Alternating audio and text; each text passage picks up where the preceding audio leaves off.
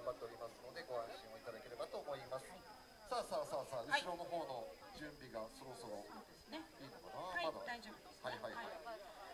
そうですね。いやでもねあのーこの時間に開会式するって確かにちょっと新鮮です。のえージャズのこのコンサートに向けて、えー、ショーをしたためてくれました、えー、3年前かな？の時にはここで書道パフォーマンスということで、はいはいやってくださいましたね。えー書道の皆さん書いていただいたんですけど今回ちょっとこの時間帯とかいろいろと時間の制約がありまして、えー今回ここに来て書くことができないということで、はい。事前に、えー書いて私たちのところに届けてくれました。届けてくれましたオンザサニーサイドオブザストリートですね。というのをですねあのリーダーの谷口さんが選曲してくださっていて、はい。あのこの後演奏してくださるんですね。でせっかくなので、はい。あのルイ・アームストロングっていうともう一曲有名なあの素敵な曲がありますよね。はい。この素晴らしき世界で、はい。ワンダフルワールドですけど。はい。でこれをですねあのボスの田中さんがですねリクエストをしまして、あの今日ねスイングトワイライトの皆さんがはい演奏してくださるはい。ということで、私からはあのちびっ子たちがなんか聞き聞いたことがあるような曲をということでリクエストしてあります、なのでこの2曲がどこかで流れるとはい。思いますので、ぜひ楽しんでいってください。9月の夜のジャズいいと思いますはいスイングの皆さんから OK が出ましたので、はい、あの始まる前にですね、はい。本日ご出演のはい。スイングトライライトジャズオーケストラの皆さんのプロフィールをご紹介させていただきたいと思います。はい。1971年に鹿沼市で結成されまして、はい。今年でなんと51年を迎える半世紀以上の歴史を重ねた社会人のビッグバンドとなってい私たますち。の原神祭り20年先なんですね。これまでの主な活動では、はい。各学校やホームでの演奏や、その他県内外のイベントでの演奏、はい。はい。また世界で最も権威のある、はい。モンタレージャズフェスティバルにほう。1988年と89年に2回2度出演されていらっしゃるんだそう素晴らしい。で1993年にはロシアで開催された第3回国際ジャズフェスティバル、はい。ジャズバイ・ジ・オーシャン。はい。そして2004年には中国上海のはい。東華大学学園祭への招待出演などもされていらっしゃるということなんですね。で STGO 主催ではい。毎年あのジャズの皆さんスイングトワイライトジャズオーケストラの皆さんですね。はい。主催で毎年開催されているコンサートではピアニストのハンク・ジョーンズはい。トランペッターのビル・ベイリーさん、はい。そして日野照正さん、はい。クラリネット奏者のケン・ペポロスキーさん、はい。北村秀治さん、はい。テナーサックスの小田悟さん、はい。アルトサックスの渡辺貞夫さん、はいはい。有名な方ですけどね、あはい、あと、ご当地佐野市出身のドラマーのはい。小山太郎さん、くのミュージシャンをゲストにお迎えしていらっしゃるそうで、はい。活動を続けていらっしゃるんだそうです。でここ数年はですねこのやっぱり新型コロナウイルスの感染拡大の影響というのがかなりやはり、ね、演奏される皆さんもあるということで、はい。まあ、なかなか演奏会はもとよりさんも大いに張り切ってくださっているということですので皆さん準備はいいですか？イエーイ。ありがとうございます。ねなのでいいでしょうかね。じゃあ行きましょうか準備の方よろしいでしょうか？ちょっと何かはい音合わせをはいじゃあまだね私たち喋ってましょうか。はい。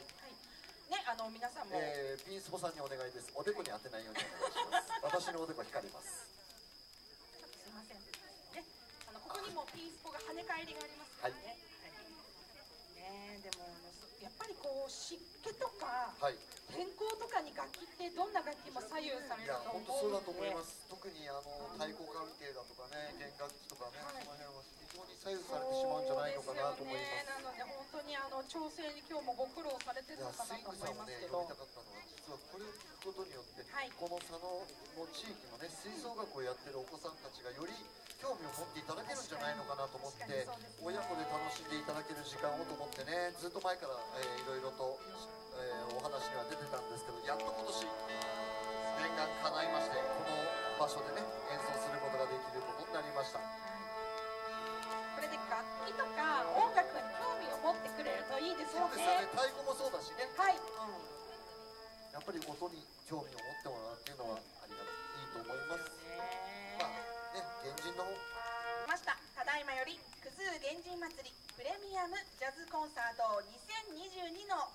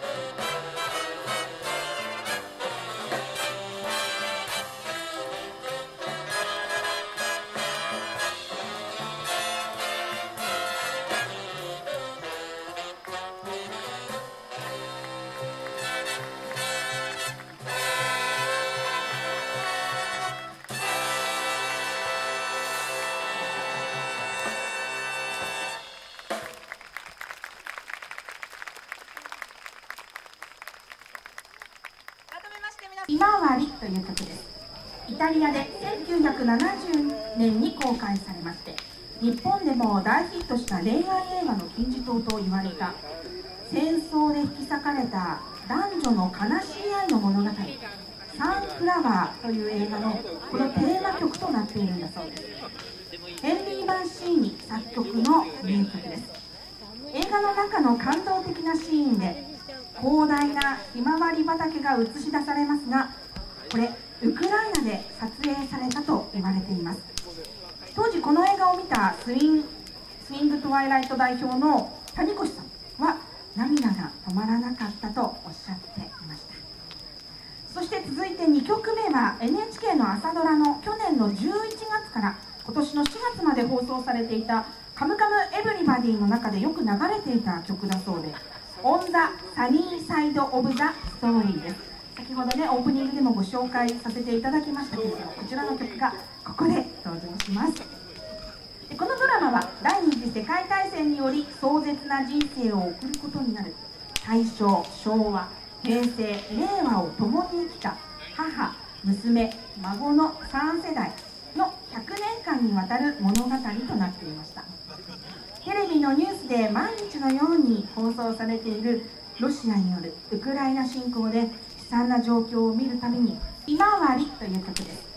イタリアで1970年に公開されまして日本でも大ヒットした恋愛映画の金字塔と言われた戦争で引き裂かれた